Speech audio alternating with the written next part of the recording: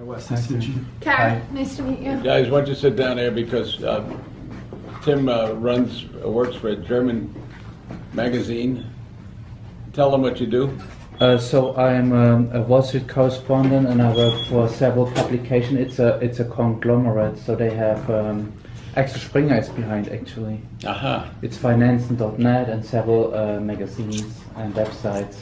And these are three individuals that are in college, Oh, okay. not the gymnasium, but in college. And uh, they are here for the summer, so just in Oh, case you ask some interesting questions, you will ask interesting questions, and in case you need any, any feedback, they'll, they'll get Sure. you the answers, okay? Okay.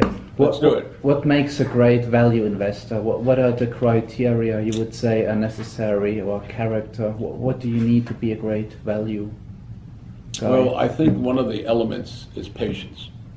Secondly, you, you do have to understand that when we buy shares of stock, we're buying a piece of a business. So, what is the business worth? From my point of view, I had an accounting background and a philosophy minor, but then when I went into graduate school, I had finance, but in particular security analysis. So I was trained in the Graham and Dodd methodology of valuing a security. You gather the data, that is, you look at all the public information. You, then we, as a firm, put it together by arraying it. Then we project, then we interpret, and then we communicate. So we call it the GAPIC, GAPIC approach, G-A-P-I-C approach to investing.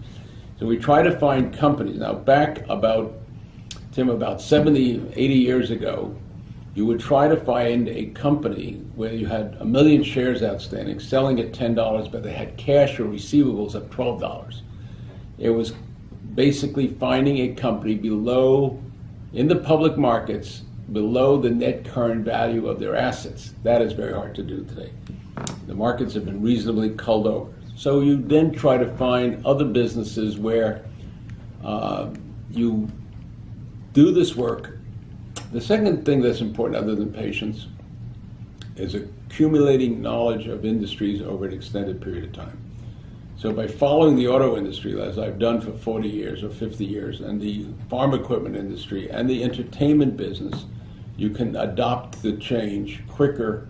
And if the, the stock market, which we call Mr. Market, mm-hmm. comes down as it did on Friday, and today it's because of Brexit, you can see what, what companies make an interesting opportunity. Are they weak enough? And then how much time do you have to hold? So those are kind of the elements.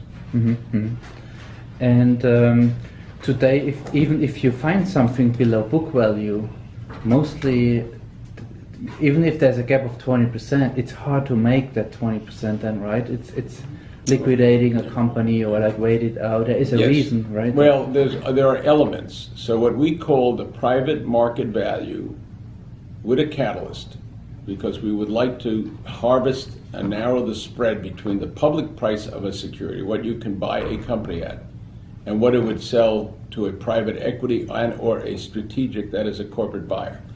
So in that framework, we don't necessarily look at book value. We look at what we call what multiple of cash flow minus capital expenditures, EBITDA minus capital expenditures, would someone pay to own the business? How quickly will that EBITDA grow? How uh, it infected by inflation, deflation? Is it subscription revenues or is it a transaction revenue? For example, if you're buying sugar and there's a spike in the price of sugar, somebody's going to make a lot of money, but what multiple would you, would you pay for that as opposed to someone that's buying a cable television uh, cash flow? So that we distinguish that between book value and what the value of a business is, and that value can change over time. For example, if you're doing leveraged buyouts, private equity, what multiple can you sell the business at five years from now? How, what kind of return do you want to have on your equity investment? How much debt do you can you do you can you raise to finance it today, and how much debt can you raise when you want to sell it to somebody else who'll do the same thing? So there are a lot of uh, dots, not complicated, but that's what we do. Sure. And you mentioned a patient. You have to be patient. Well, what is your time horizon when you buy today a stock? Well, when you look at the Gabelli portfolios, and we run $40 billion US, all equities, primarily, in rough numbers. Our turnover is about 10%, which means we hold stocks for 10 years. So as a result of that, we have a very long-term time frame. However, when we start the process, what we like to do, and this is about what we do most of the time, but not all the time, you basically say, okay, if the stock is selling, in the case of Scripps Broadcasting, at $16, the symbol is SSP, we think it's worth $22 today or $24. What will it be worth in three or four years? How do I, what elements would be visible to the world that would say, okay, that $16 will go higher and match the private market value? Then we ask ourselves, what can go wrong? Where can we make a mistake in the analysis of private market value? And then where could we be wrong, not only because it can go down, but maybe because it can go up higher? So we look at those facets of the evaluation process. Mm-hmm. Yeah. And uh, what, what is the company? What is behind? What is the story? Why do you like it? Um, oh, this particular company is. I started following the broadcast industry 50 years ago, mm-hmm. and they were tied to, to, the growth of consumer spending. So, if you are a company like Procter and Gamble, or a company like Unilever, or a company like Reckitt, Benckiser, if your revenues are growing and your profits are growing because the consumer sector of the economy is growing, and the consumer sector of the economy grows not only in real terms but also in nominal terms because the products they sell tend to have administered pricing where they do reasonably well in inflationary times, their advertising budgets will grow. So the broadcasters had a sense of being inflation indexed and they did not have a large amount of capital expenditures. In this particular case, this company, located in Cincinnati, Ohio, uh, bought another TV station operator and sold all their newspapers to that TV station operator.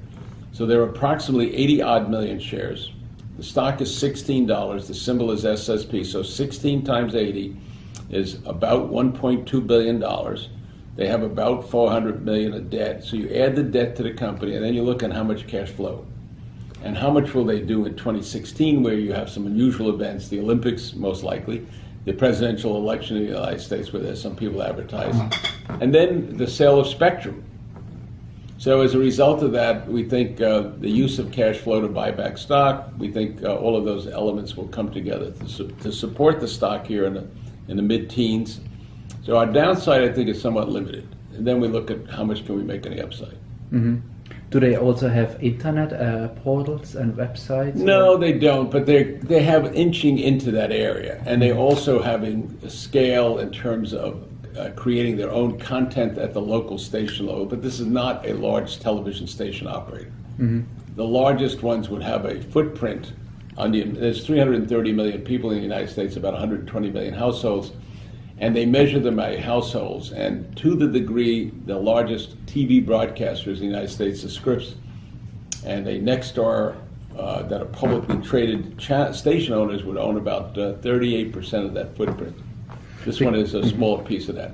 Because long term, they say that the view, uh, TV uh, viewing goes down. Yes and TV and streaming yes. and Netflix. Over the top, yeah. net streaming but, on, yeah. whatever portable mobile devices. YouTube and, and yeah, yes, and then what happens is that the uh, advertiser needs to figure out a way to get a message targeted to a specific group.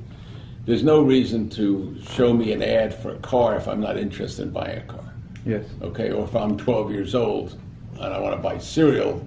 Uh, I love cars, but uh, my, my market is of for a Ferrari is a long way off, or a BMW. Yeah. So, but with Facebook and so on, you can better market it, right? Yes, you, can target market it, yeah. right? It's much like you're doing with your subscribers. Also, the attention span mm-hmm. in the digital generation is two minutes to three minutes, and that's what you'd like to keep everything at. Yeah. Okay. And um, is there another stuff you like? Uh, well, there are many. Let's deal with another one that uh, we like: financial engineering. So when interest rates have come down, as interest rates come down, there are investors in the world. There's 60 odd trillion dollars in the equity markets and about 90 to 100 trillion dollars of fixed income. But investors in the United States are at about 30% of that market. they want to get current return. If you're in Germany, you're getting a negative return. If you're in Japan, you're not getting it. You're getting a negative return. So how do we get current return? One of the areas that has worked well for us, and we've been in it for 15 years, is the utility industry.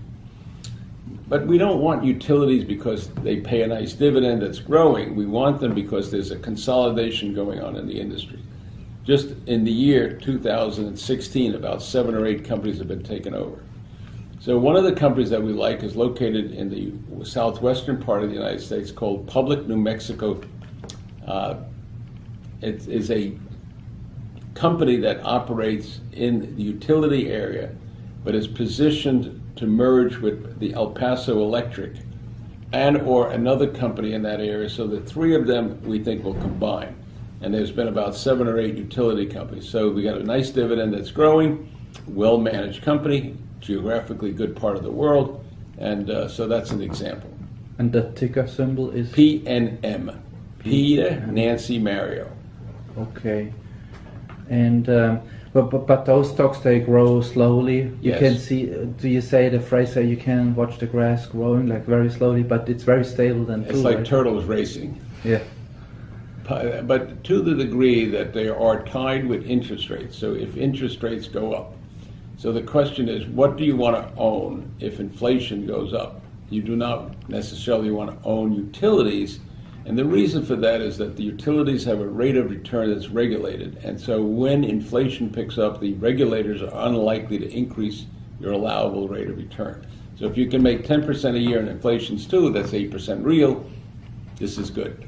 If inflation is uh, going to go from 2% to 8% and the stock is priced as though it was only going to stay at 2, that is not good. So those are the elements that one has to wait. And now in in the distribution of things, the distributor, if they can grow real unit volume at 2% and have 2% nominal inflation, that's 4%, assuming they don't gain share and everything else is constant. But their SG&A expenses can grow at 3 or 4%, so they don't have any leverage. Even though they maintain gross margin, there's not that much leverage on the SG&A. But if inflation picks up and inflation goes from 2 to 3%, the revenue stream grows by 5.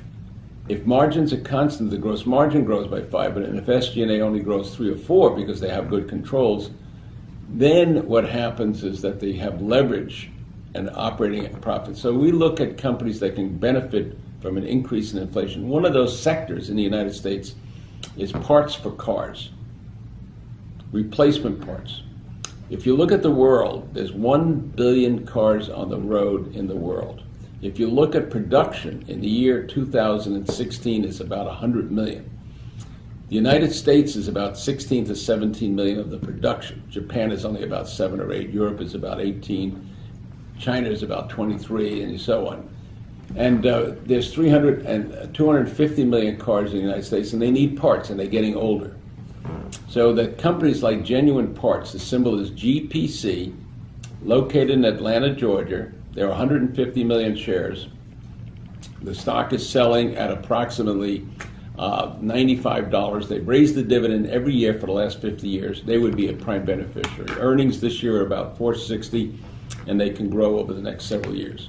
I'm going to get some water. Would you like anything? Let's take a Um, break. All right, um, and I gave you some other names that are there, but I don't have it in front of me. And the PE ratio of uh? Genuine Parts, unfortunately, is about 20 times. That's so that's okay with you then. uh, it's not on the cheap side, okay? But it is a basically a company that has an advantage. Uh, it's not going to be taken over, and the advantage that, in terms of the company, is that they have made acquisitions in New Zealand and Australia, and the currencies in those markets have dropped sharply, in part because of the Chinese export dynamic. The second part is they have the similar type of dynamics in Canada. So that will hopefully stabilize and allow the earnings to grow at a faster rate because they've acted as a headwind. The second part is that in addition to automotive, they do about 15 billion of revenues. They do about 10 billion of that is automotive. They do about uh, several billion dollars where they sell parts for industrial equipment. And the United States economy has been hurt because of the strong dollar As a result, they can't export as much. So manufacturing is not as buoyant. They don't need as many parts. And then the oil sector in the United States is hurt. And I think that stabilizes over the next couple of years. They're a full U.S. cash taxpayer for tax purposes. So if the United States reduces their corporate tax rate from 35% to a lower rate, they benefit. So there are a lot of moving parts. Why would nobody take them over? Is it too large or is it family? No, behind? I think it's not that. It's culturally, you just extraordinarily well managed, and therefore you don't want to disrupt the the the, the, uh, the only company that I think would be would keep the culture would be a genuine uh, a Berkshire Hathaway buying them. But I don't think uh, the companies are, are, going to be taken over. Secondly, uh, and their debt, by the way, is tiny. It's only like $500 million versus their billion plus of EBITDA. And capex is tiny, only $100 million. This year it'll probably be a little more because they're building some distribution centers. In addition to that, they have a logistics business that's very good. So if you want to pick, pack, and sort and distribute the way Amazon does, this company has that core competency. And then it's an aristocrat. That sounds very good, right? Yes, it's been a very good stock. We started following the company in 1967. So I've been covering it for almost 50 years, and um, I visit them religiously by going to Atlanta, Georgia, and uh, seeing the management. And they uh, have a new CEO that has come on board, uh, and uh, this is probably the fifth one in their 80-year history. How do you like Amazon? You mentioned it with logistics. I think you bought it. Uh, well, we don't own any Amazon and well, we've owned it for a while, but we haven't bought any in the last five years. And uh, Jeff Bezos has done a terrific job. His AWS, which is the cloud services that he provides, along with the distribution, it's interesting and one that we have to follow because of the amount of packages that people order. Amazon Prime deliver you know, uh, why go shopping when you can have it delivered, do everything on a digital world? This is the digital generation. So as a result of that, this digital generation wants everything delivered. And that means that, if, for example, if you live in an apartment complex in New York at Christmas time, your super is going to have lots of problems. Yeah. And so we're looking for companies that create uh, storage facilities. For example, if you are across the street, there's the Osborne House. If packages are delivered, they will have locations in which they will put a code on the box so that if Amazon comes in at 12 o'clock at night to deliver through a delivery service, you can tap into that code, open the box, put it in there. The next day, that code changes. Mm-hmm. So I can pick up my delivery anytime during the day. The delivery service doesn't have to go through my doorman uh, so the world is changing. It's interesting, and Amazon is a, a creature and driver of that change. Mm-hmm. And it may be interesting for you to pick more up, or it, it's. Uh... It's not at the moment. Okay. Okay. Jeff Bezos, the market cap is four hundred billion dollars or three hundred billion dollars, along with uh, you know some of the other FANG stocks. What do you think about Netflix? Because you have a lot of uh, traditional media like Viacom, CBS? Yes, well, uh, CBS does have some over the top with uh, CBS Now, and all of the companies like uh, Time Warner has created Hulu. Yeah. Traditionally, we've liked the content companies, and what we like is recurring revenues. So Netflix, we think, is a bargain at nine dollars and ninety five cents or ten ninety five, depending on what part of the world and when you came in. So with their subscribers growing that company has a, a significant pricing flexibility. However, one has to be, as they would say in the old Greek mythology, the Achilles heel of Netflix. Right now, they distribute their product for free because the cable operator has to carry it. At some point in time, there will be a new administration in the United States. There will be new head of the Federal Communications Commission. And the individuals at Google and Netflix and Apple that have been getting free carriage, they may have to wind up paying to get their traffic. So if everyone in my building is watching Netflix, they may need more capacity and they may have to pay for that. Secondly, the other operators are getting together and trying to do that, but they have a first mover advantage. They offer good, a good price uh, good service for the price. So Netflix is intriguing. Again, it's a question of what price in the market am I paying for that growth rate? And we're not adding to the portfolios on this at this time. What's your take on Google or Alphabet? Oh, I, well, those are large companies. Let me give you an example of what is going on in the United States. Gasoline stations. Because of environmental rules, gasoline stations cannot relocate. The ones that are existing have gone out of business, so that, and then the stores that sold you gasoline have created locations where if you go up and get your gasoline, you also stop in the store and you can buy uh, Gatorade, you can buy uh, your cigarettes for those that smoke, you can buy a bunch of things. Those stocks were not public. Couche-Tard in Montreal, 7 Eleven in Japan were public, but nobody kind of clustered them. Then you had a company in the Midwestern part of the United States called Casey's. But today there are three or four others. And so there's a nice group of companies that you can follow, good growth rates. So we are focusing on a company located in San Antonio, Texas, called CST. It was spun off from Valero. The symbol is CST. The stock is $40. There are 77 million shares outstanding. And they just announced that they're looking at, in quotes, strategic alternatives, which means to me that they'll probably sell the company. So we think they can get anywhere from 48 to 60 dollars. We've owned it now since they were spun off from Valero. The uh, Kim Lubel, the woman that runs this, the CEO, is doing a good job, and so I think they'll allow that value to surface. But the category is interesting, and as you will read in the papers for this Fourth of July weekend in the United States, there are more cars on the road driving more miles, and as a result of that, even with gasoline prices going up in the last two or three months, they're still well below where they were. So that you, uh, and once you drive cars, you're going to need parts, but you'll also get a gas and you'll fill up.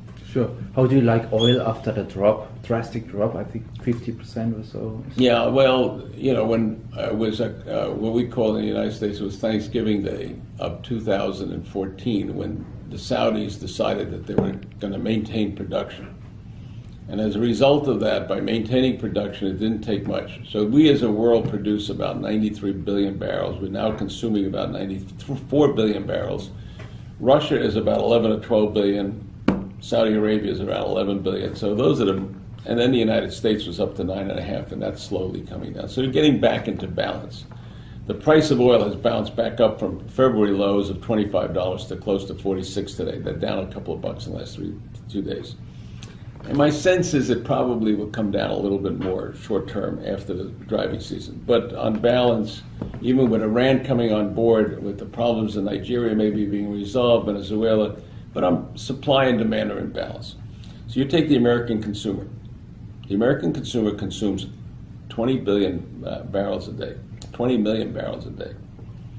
So even though the price has gone up relative to three years ago, it's $35 lower that means they're still saving $700 million a day.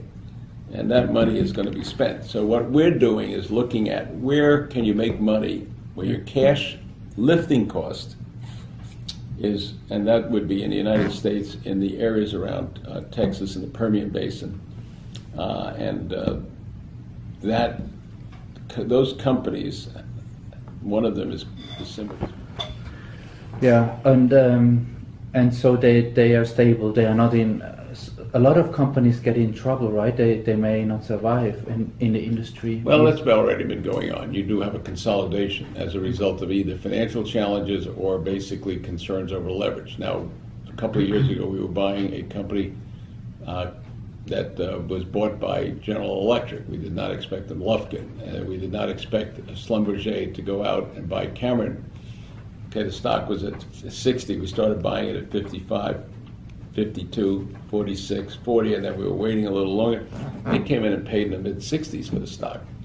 So today there's a company called Weatherford, highly levered, almost a billion shares. The stock's five dollars, and they make equipment for pressure pumping, which is important for fracking. Uh, they make uh, equipment with regards to artificial lift, where you have to go in and help the product and the well completion. And so there are a lot of wells that have been drilled in the United States, but that have not been completed. So they mm-hmm. get the benefit when oil prices stabilize and go up.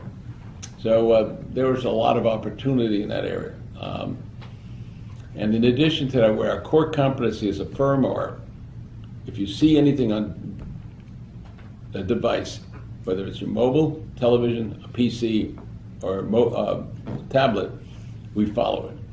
Whatever the content, whatever the form of distribution. Second, so cable companies around the world. Uh, we think there's going to be a consolidation again in Latin America of the cable operators.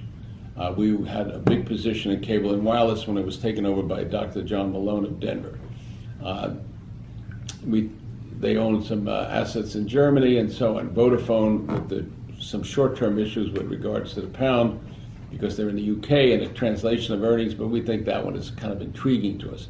There's a company controlled by a family out of Stockholm called the Kinnevik. The family is called Stenbeck. Cristina Stenbeck's grandfather started it, she runs it. They own a company called Millicom, M I L L I C O M. Millicom has assets, uh, 100 million shares. The stock today is $53. They have assets in Africa, which they're selling except for Tanzania. They get their price. They will be left with assets in Latin America, primarily in uh, uh, uh, Colombia, where there's about 55 million people. And then they're in Guatemala, Nicaragua, uh, uh, Panama. And that is kind of an intriguing area for both cable and television. So they will be consolidated by a company called Liberty Lilac and that one will be attractive. I think it's worth probably eighty dollars in, in, the next two years. Um, in looking at Argentina, aside from the fact they lost to Chile uh, yesterday in, in soccer, uh, who is Germany playing, by the way? I don't know. Ah, come on, you got to know the Euro. Come on, you guys know. Euro 2016. Uh, come on, Belgium is okay. You guys don't know. So. Um, so that's uh, an interesting because of uh, Mauricio Macri is turning around Argentina. If you can turn around Brazil the same way you did, eventually Venezuela will turn around. Colombia is going to do better, and you go up in Panama and across that, and that uh, independent of what's going on in China. The other area is that if you drink something, we follow it. Water, beer, soda. Okay, so I was in Milan not too long ago visiting a company called Campari Campari was on, brought to my attention because we were doing and own all of the companies that make American bourbon. We felt that that was a good business. They bought a bourbon company about 10 years ago, and the stock is selling at about uh, 9 euros, and uh, we own 9 million shares of it. So it's a pretty, we're large holders of this company. And they are in the process of buying Grand Marnier. We also like Pernod, which is based in Paris, Diageo in London. Now the stocks each one has a little challenge, in part because of China, in part because of the currency. But if you can make something in Europe, pay in local euros, and sell in dollars, you're doing well today. If you make something in England or Scotland, like Scotch, okay, and you make it with local expenses and you get all dollars, that's a, an interesting, and particularly if the stocks go down. So um, the SAB Miller the Heineken merger. Heineken is a beer company, uh, the uh, Ambev uh, companies that we like. And as a result, we go around the world and look at bottling companies. And uh, there are always changes in taste. One of them in the United States is called National Beverage, located in Boca Raton, Florida. They sell a product called LaCroix, which is apparently uh, a product that the millennials like. All natural ingredients. It's very attractive. And is there something in Great Britain after the the drop? Yes, a lot.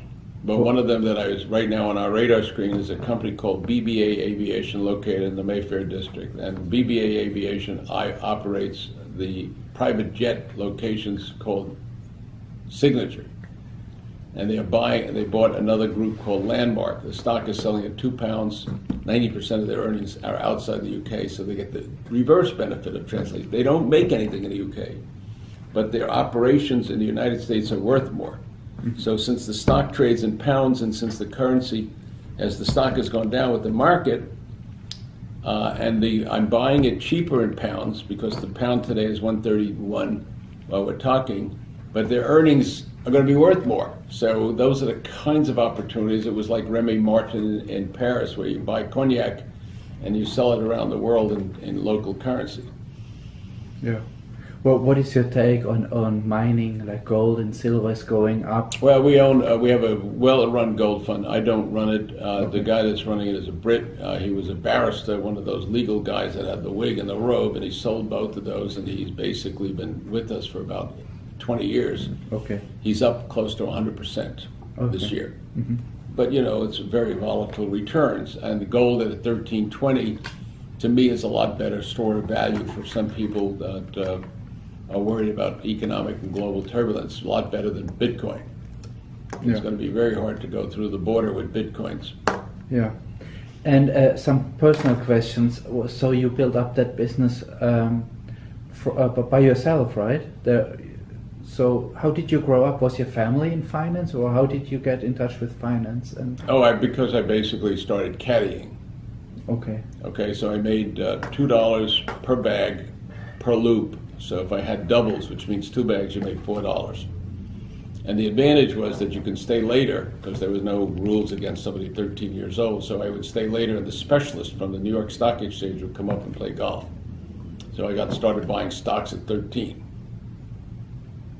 and so it was an interesting way. And uh, so I like the competitiveness, I like the global marketplace, I like everything. But we did not buy, we did not buy companies in Europe. We followed the industry until the Berlin Wall came down in November of 1989. Then we went global. Mm-hmm. Once the Berlin Wall went down, we said, okay, we can no longer just isolate ourselves to American companies. We all understood the, the connection on a global basis, but we didn't invest that way. Mm-hmm. Okay, Tiananmen Square occurred in July or June of 2089. I might have got the wrong year, 1989, yeah. Berlin Wall was 1989. It's Yes. amazing, amazing how long it is. and uh, uh, what is with Volkswagen? Do you look at that situation Yes. after the scandal? Yes, we bought some. You bought some. What, what is your take? How long does it take such a crisis with image and fines and to go? Well? I, I think the notion of uh, correcting in the United States, you cannot sell a car with a defect. To the degree it is an environmental defect as opposed to safety defect, you will be dealing with certain issues. They're working their way through that. I think they'll come out of it. Whether it's two years or three years, I don't know. It's mm-hmm. so I, I'm not concerned about that. What I think Volkswagen will do is spin off the truck business, and we think the truck business will merge with Navistar in the United States. So we are buying Navistar. Navistar is a big Class A truck that had their own problem with diesel engines. They had a diesel engine that was supposed to do X. It did not do it. They did not have a backup, and that's a problem. So uh, Volkswagen to us is very attractive. What we did is we made money by buying part suppliers. So, for example, if you drive a BMW, you, you you'll see the red calipers on the front. Those are made by a company in Italy called Brembo. We've made five times our money by owning Brembo because we follow the car companies. We've been following them for 50 years, so you know you always pick little spots. Like I talked about the distribution of parts. We'll also look at original equipment parts producers, and occasionally we'll buy the truck manufacturers, the Class A truck manufacturers. And when you're like a, a mid-sized company, how far do you go? Do you build up like five percent, ten percent, or where would you say you would stop buying when it, when you own? The ideal world for us is our clients. We have 2,000 separately managed, customized accounts. That is $20 billion.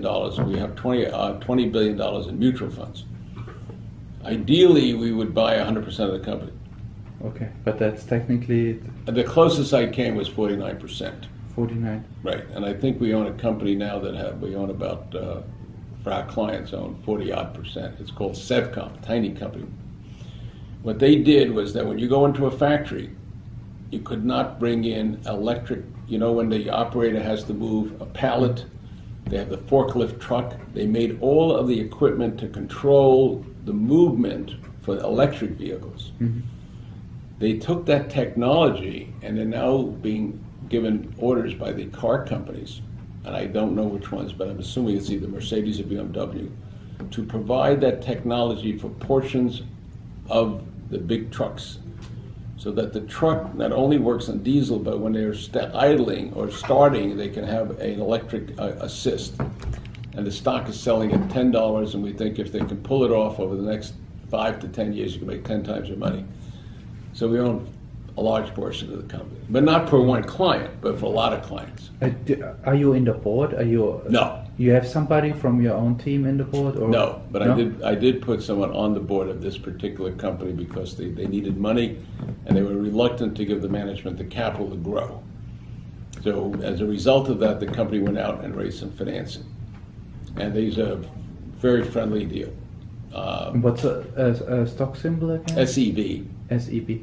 And but you're not. Sam Edward Victor. Okay. I, I, I've, uh, I have enough being on the board of all of my public companies, a lot of mutual funds and, yeah. and so on. But you're not very uh, like an activist investor, right? If you see No, something. we are, we are, if you have a four-year-old child that's riding a bicycle, they put training wheels. Yes. Sometimes existing companies will need training wheels to stay on the right path to enhance management, uh, to en- enhance the returns. We own over hundred companies that we own over five percent of. So we watch these very carefully.